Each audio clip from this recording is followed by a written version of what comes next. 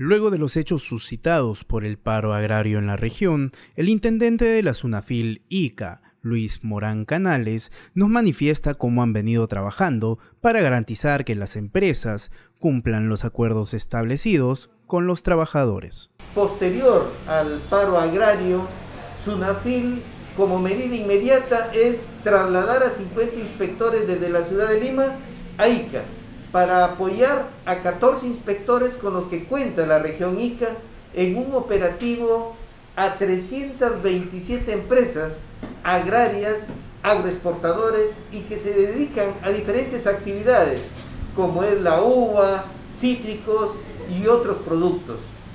Una particularidad en el sector es el siguiente, que es una actividad eventual, es una actividad intermitente y es una actividad que exige de la administración actuación inmediata.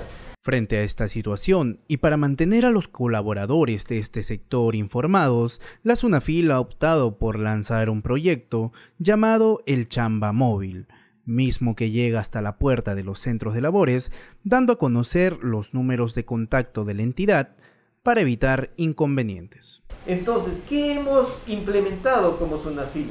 Hemos implementado el chamba móvil, ¿en qué consiste el chamba móvil? En difundir más canales de denuncias.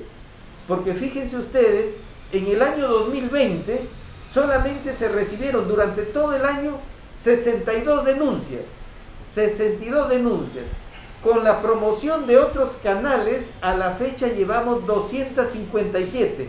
En tres meses hemos logrado prácticamente cuatro veces lo que el año 2020 lo hicimos. ¿Y en qué consiste este trabajo?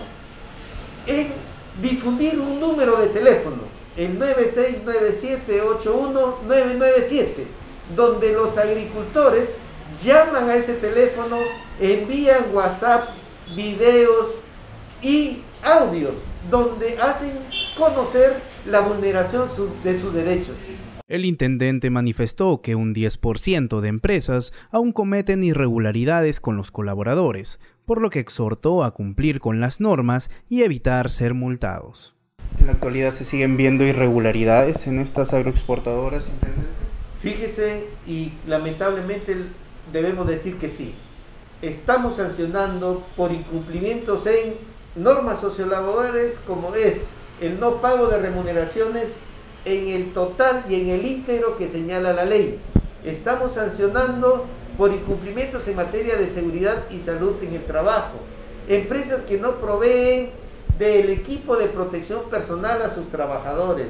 Empresas que no proveen de agua a sus trabajadores que realizan actividades en los campos con tremendo sol y alta radiación.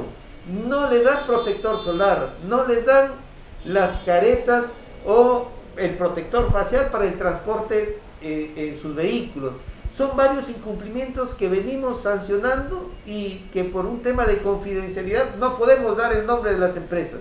Estamos hablando de un 10% del total de las empresas que son las que incumplen en, de un modo integral. ¿no?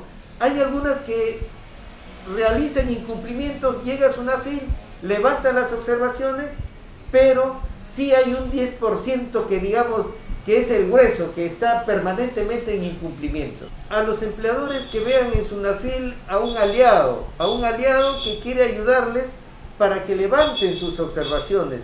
Siempre es buena eh, la, la percepción de un tercero y qué mejor de personal especializado como son inspectores de la región para que les digan qué es lo que está mal y corregir. Son trabajadores que están dando una labor en condiciones muchas veces muy sacrificadas y tenemos que comprender esa labor.